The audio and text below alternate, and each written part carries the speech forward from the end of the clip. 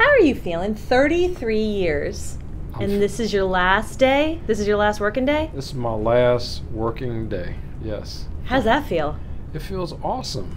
It really does. Uh, you know, I've dedicated my life uh, to public service, to the citizens of the District of Columbia. Being a kid from this city, I mean, that's that is a great honor.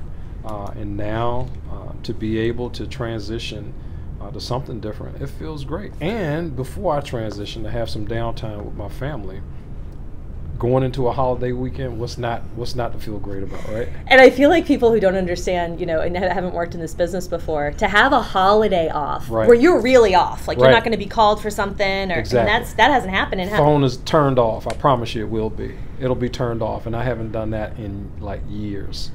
That said, how hard is it going to be to let go? Because you're going to hear those sirens and you're going to get calls. And I mean, are you going to be able I to? can. I think I can get used to quiet. Yeah, I, I, I can get used to enjoying uh, just a different space. My heart will always be here with the men and women, uh, the Metropolitan Police Department, uh, the communities that I've had the, the pleasure of being the chief uh, for. My heart will always be here.